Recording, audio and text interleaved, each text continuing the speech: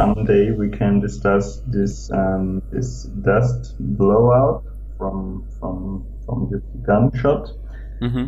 Uh, because it's it's it's about understanding the, the the forces in general, but I don't know how um, how long will it take to to have all these. So maybe I don't know if we should start it today.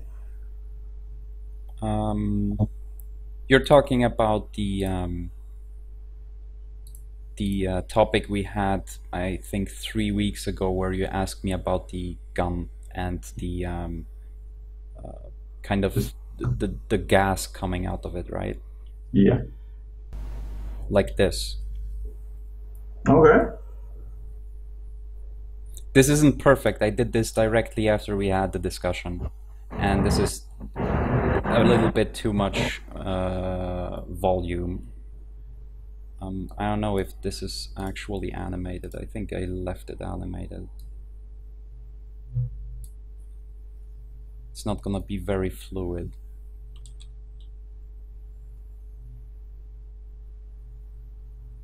Yeah, it's six frames per second. It when it goes properly fast, it looks better.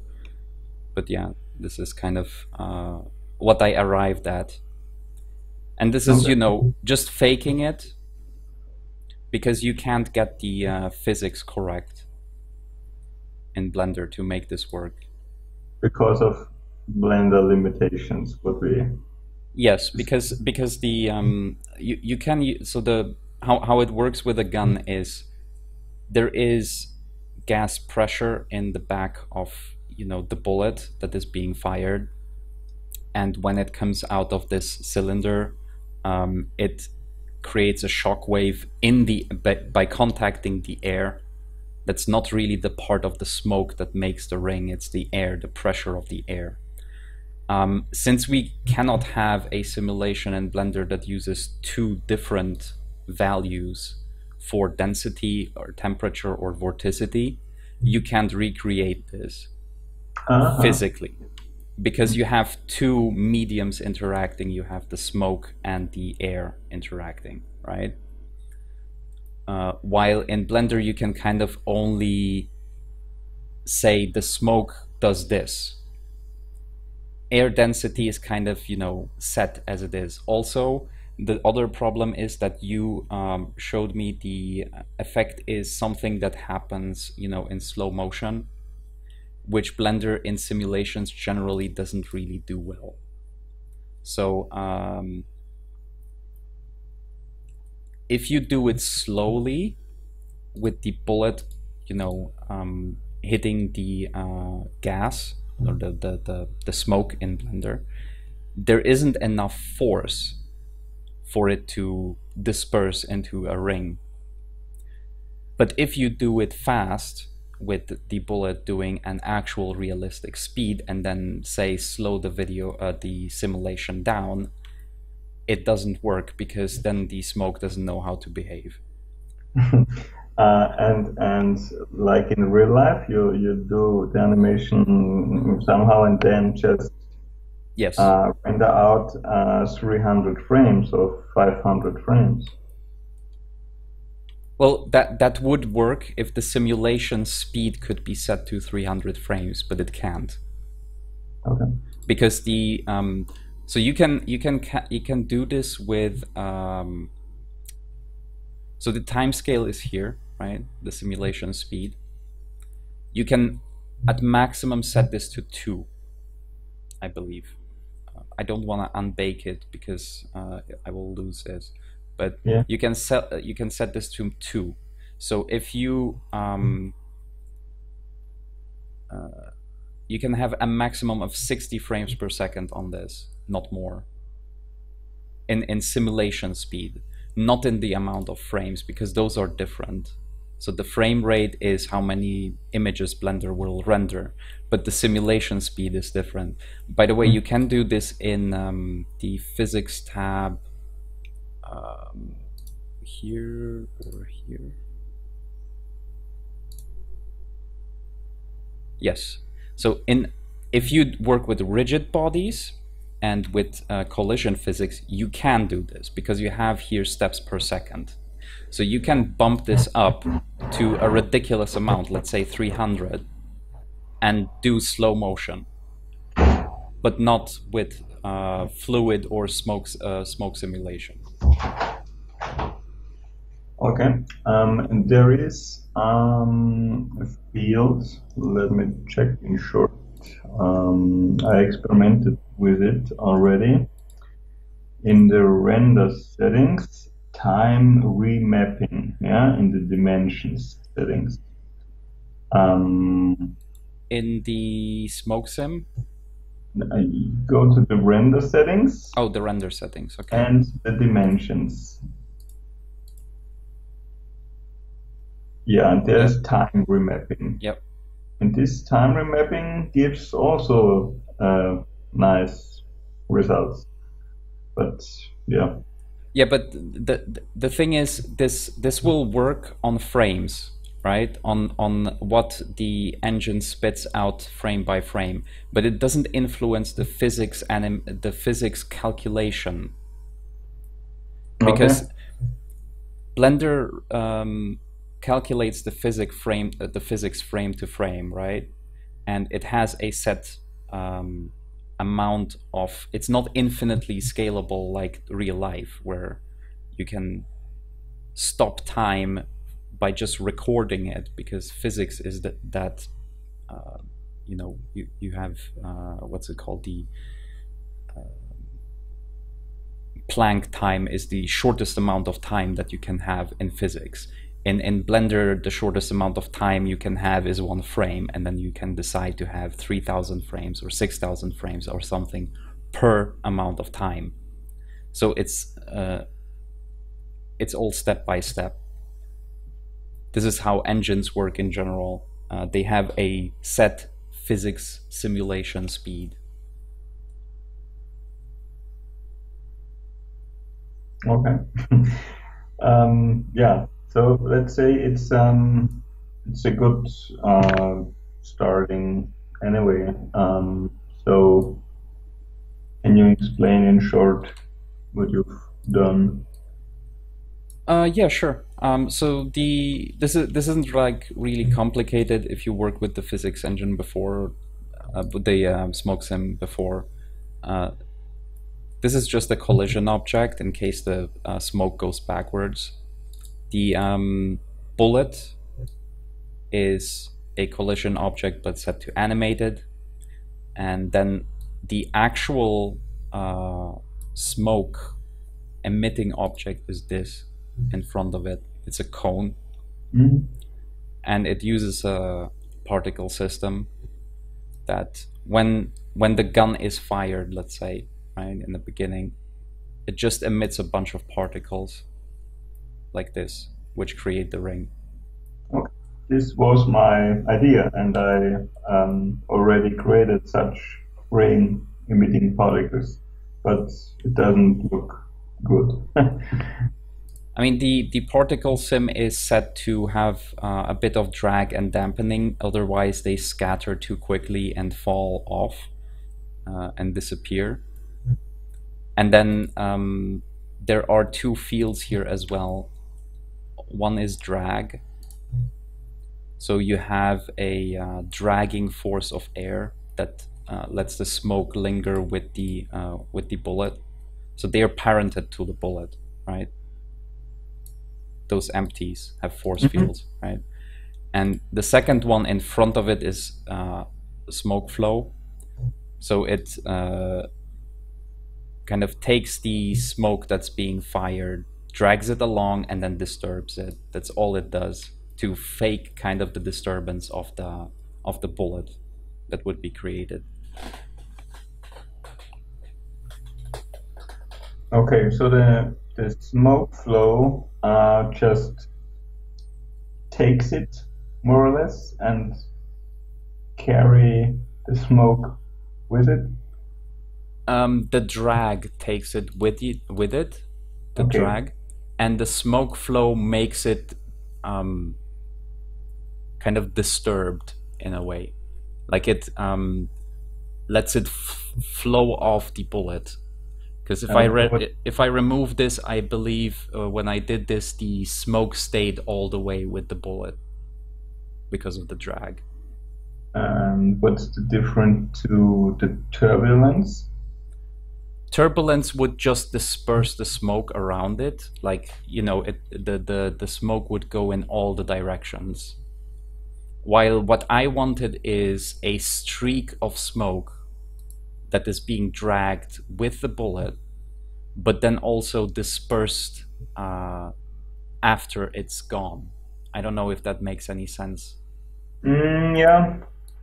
I, if I use turbulence, the smoke would just go in all the directions, uh, like almost like a vortex, and it just didn't look right. So I played around with it. I don't know why smoke flow works specifically here better than, um, let's say, turbulence, but I believe turbulence like pushes stuff away. okay. I think I once heard in a tutorial that the turbulence field uh, is, is no matter where you place it, it influences the whole scene.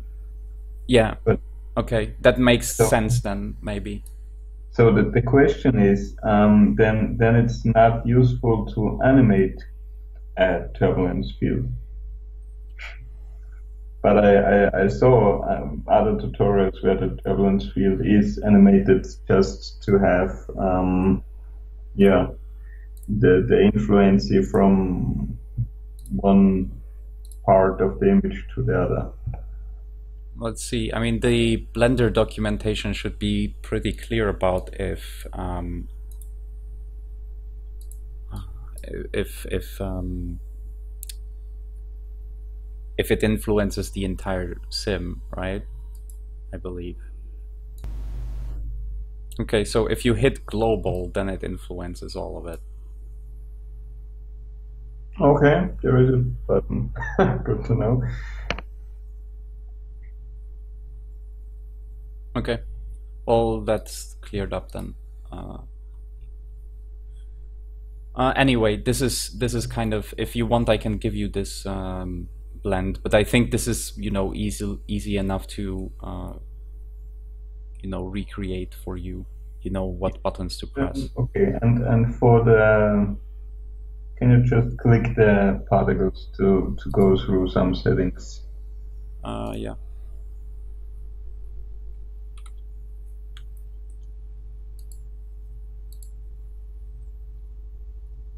So oh, okay.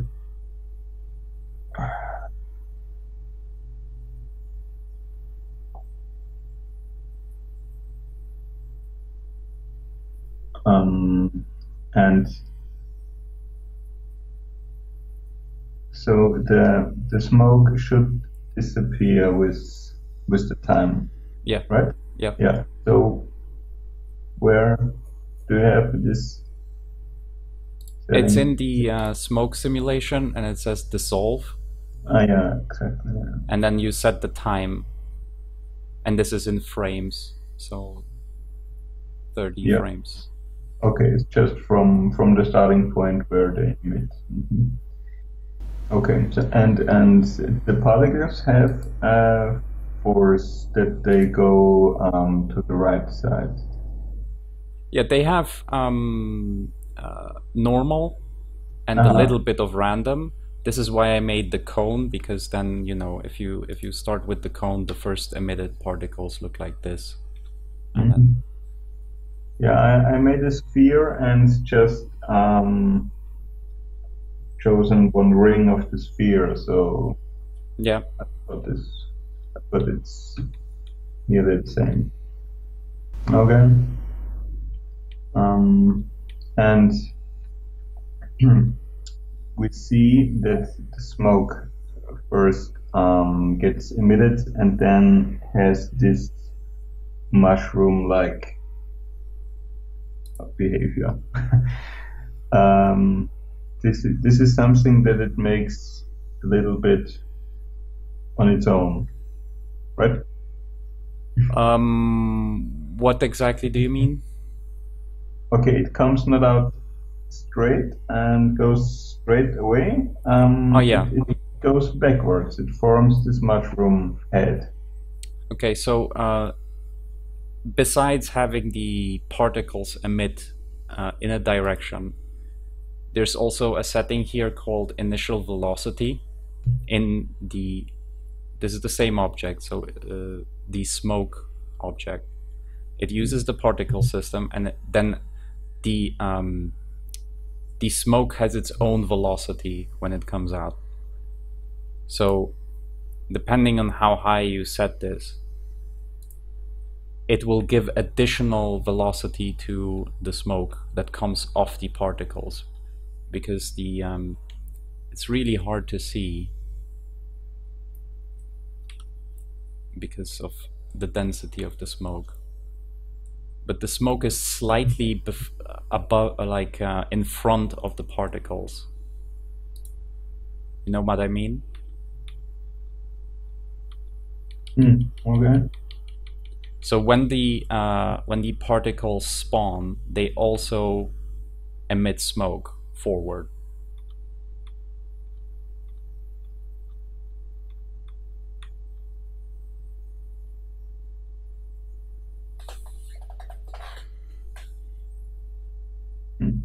Okay.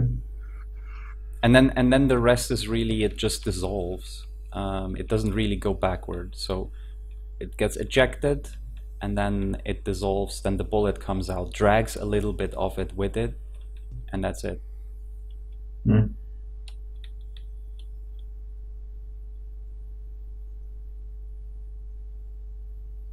Okay. Yeah. What I um what I don't had was the two modifiers that are on the bows on the bullet and interact with each other somehow. Okay. okay This gives me something to think about. I mean, I also, I also, what I also did is in one of the tries is, for example, to give the bullet a normal collision. So the bullet would also interact with the particles because right now it only interacts with the smoke. Do you know what I mean?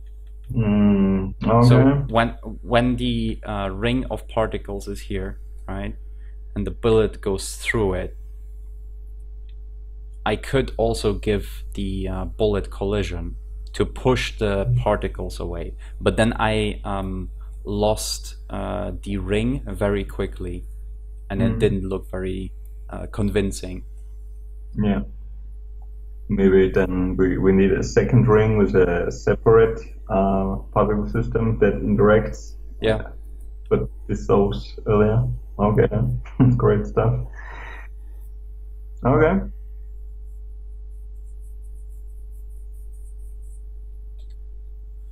and yeah um, the rest of it i mean this is not um, it, four, 64 divisions so you can you know if you have a better computer than mine you can crank this up higher and make it look real nice when it's rendered because right now it's you know it's Yeah. very choppy